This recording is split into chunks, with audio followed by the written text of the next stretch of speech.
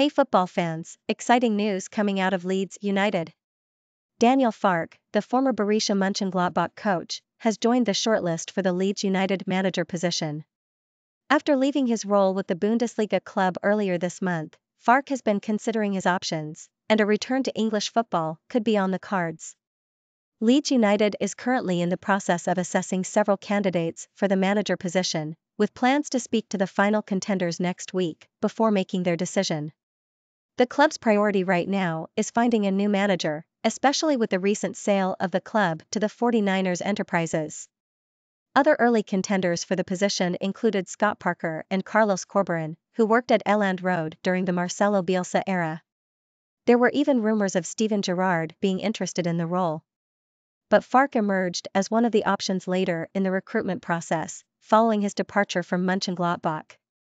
Leeds United's new manager will have the task of overseeing a squad overhaul, as players are expected to leave following their relegation from the Premier League. Sam Allardyce took charge for the final four games of the season, but unfortunately couldn't secure the victories needed to avoid relegation. Now, let's take a look at some of the top comments from fans. One fan mentions that Farke has been the bookies' favorite for a week, and if he's chosen, they'll support him. Another fan jokingly suggests that if Leeds wants to get out of the championship quickly, they should appoint Bruce, but we all know what comes next. There's also a comment about Farke being a brilliant manager for Norwich City until he was betrayed by the sporting director.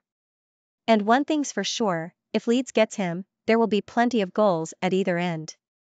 Some fans are hopeful for other options, like Graham Potter or Alan Pardew, while others believe that Corberán is the best choice for a quick impact. So, what do you think?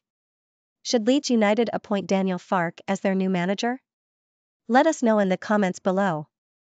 And don't forget to like and subscribe for more football news. Until next time, stay tuned.